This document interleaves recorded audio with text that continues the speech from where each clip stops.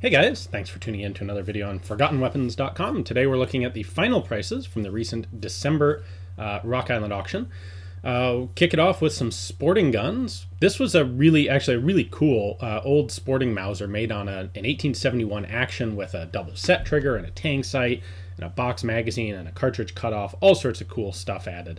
Um, honestly, I don't follow sporting rifle prices all that much, so I'm not sure how fair this price was. I'm sure the guy who bought it will be pretty happy with it. Uh, certainly more so than the guy who was trying to sell the 950 JDJ rifle. I think what we're seeing here, some of these, well, the two big rifles in particular that I looked at, didn't do all that well in this auction. And what I think you see is the effect of uh, project rifles being kind of like project cars in that you when you take on a project like that you really have to accept that you're going to put a lot more money into something like this than someone else is going to be willing to pay for it. Um, the 950 didn't sell which means it didn't hit reserve. I don't know what the reserve was. Uh, the double deuce was estimated at 15 to 25,000 and it brought 6,900 which means a, a bid of 6,000 um, which they took. There wasn't a reserve on that preventing it but uh, i'm sure the owner is a bit disappointed by that uh, if it's any consolation to them, their pistol did a lot better. That that actually sold for more than it was estimated at. I think because at, at that price and at that size, that's a lot less of a uh, an emotional and physical investment than a 60 pound uh, two bore rifle. So this is also um, a percussion gun, so you don't need cartridge cases. You can download it pretty easily. I think this would honestly be a lot more fun to have than the rifle. Uh, there was a whole a whole substantial collection of Martz pistols at this particular auction. Uh, Martz being a, uh, a pretty well-known gunsmith who'd worked on Lugers and P38s, and so they had an assortment of a couple of 45 caliber Martz Lugers. You know, if you want an authentic 45 Mauser Luger, you're going to pay like probably six figures for it. Uh, Martz gives you an option to get something that's really, really quite nicely made uh, functions the same way and for a small fraction of the price. Same with baby Lugers. Uh, extremely rare to find original ones. Martz gives you the option of having some pretty cool uh, reproductions. And so uh, what we see here is these actually, pretty much all of these sold at or a little above what they were estimated at. Uh, people were pretty easily paying three to five grand for them and more in some cases, like the carbine here. Um, like I said, Martz did Lugers, and he then also worked on P38s. So I had a number of P38s in uh, in the video I did on them. There were a bunch more also in the auction. Um, the baby here went for basically five grand, uh, and this is an example of a gun that does not exist in uh, in original form. The the Germans never made a a P38 with a cut down grip frame like this one. Then we also had a long barreled heavy uh, 45 caliber P38. Again, something that did not ever exist in original form, but John Martz, pretty talented gunsmith, he can make one, and he did make them. Uh, he is, by the way, unfortunately passed away now, so some of the pricing on these may reflect the fact that there will never be any more of them. Uh, and then lastly, he also made 38 super caliber P38s, which seems like a little bit of an unusual choice to me, but uh, clearly, a couple of people wanted it because it takes at least two people to drive the price up to $4,300. Uh, certainly is a gorgeously finished gun. Uh, looks great. Presumably shoots really well too. Uh, moving on to some of the antiques in the auction, we had a Lorenzoni musket. Uh, I say musket because it's rifle length but smooth bore. This went for just under 10 grand. These are really cool actions. Um, and I, as you may have noticed, pretty much every time I find one, I do a video on it because they're all a little bit different. Um, this one was actually, for a Lorenzoni, made rather late, uh, almost uh, in 1800, in the late 1700s, uh, by a British gunmaker. We have a couple Confederate, or uh, Civil War year guns, I'm sorry, not Confederate, that were in this auction. This is a Burnside carbine, the third most common carbine in U.S. service during the Civil War. And what drove the price on this one up, I'm sure, is the fact that it is in absolutely magnificent condition. Uh, this thing clearly has never been ridden around on the back of a horse. It's been taken well care of, and uh, just a great, great carbine. Uh, also, a Greene carbine. Uh, these were tested by the U.S. This one is actually a British contract piece, as are actually the majority of them, uh, and also in really quite excellent uh, shape, excellent condition the Greenes are the have some pretty cool mechanical features to them as well. So I'm sure whoever got this one is also going to be quite happy with it. Now, uh, the Lindsay pistol, this was an American secondary martial pistol, meaning it was probably used in the Civil War but never officially purchased by the US government. This one failed to sell. Um, I, I didn't watch the uh, the sale on this one live, so I don't know what the bidding actually got to, but didn't sell generally means it didn't meet a reserve price. So uh, a lot of these guns did pretty well. Um, you know, it'd be interesting to see where that would have sold if it hadn't been for the reserve. The Alsop, boy, I'm kind of on a roll here of really, really nice condition Civil War guns. The Alsop pocket revolver here was another great example. Um, while it is a bit scratched up, you can see this really magnificent bluing on this revolver, which really does look like this gun would have come out of the factory. So uh, that's, of course, what drove its price up. Condition always increases prices.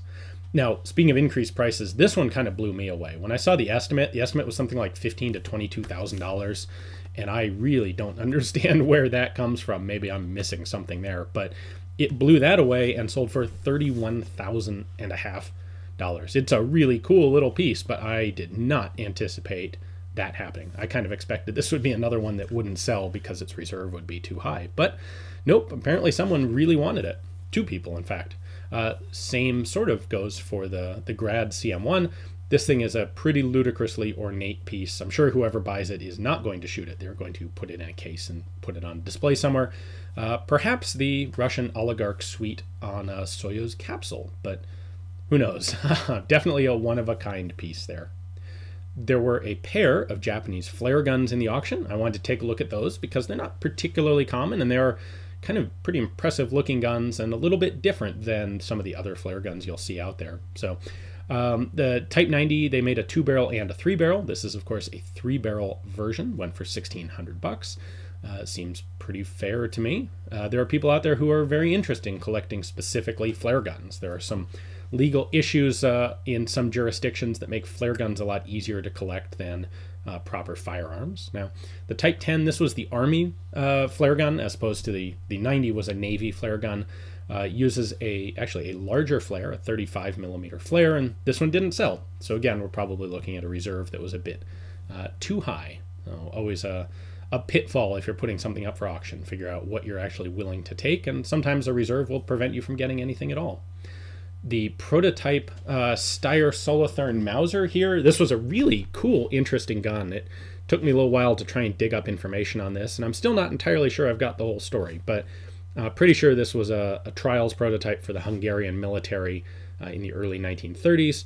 Went for just under $2,900. Someone got a great addition to their collection with that. Uh, a Piat, the, the British uh, successor to the Boys anti-tank rifle.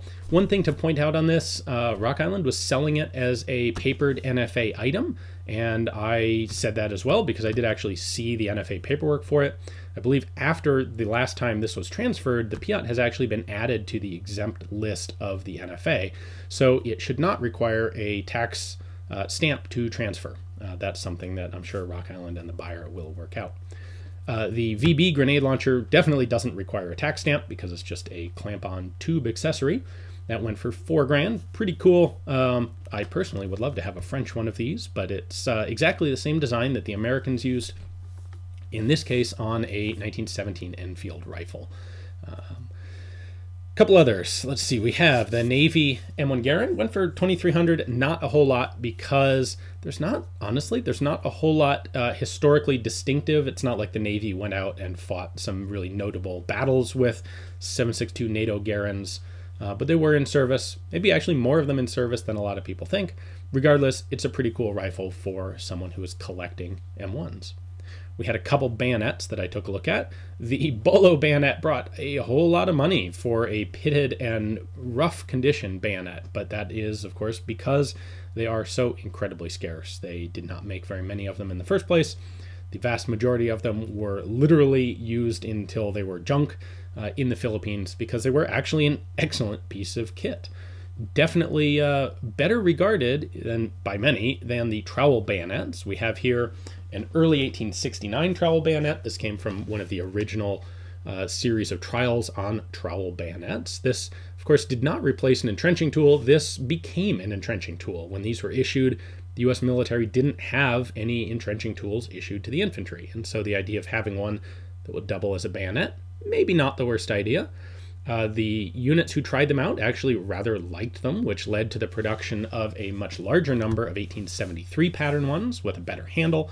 This one was being sold with a trapdoor Springfield rifle, and I think whoever got this got a really quite good deal on it. Now, if you're interested in trowel bayonets, but you don't want to drop, uh, you know, 1800 bucks for one with a rifle, there are reproductions out there. You can find them on Gunbroker or eBay from time to time.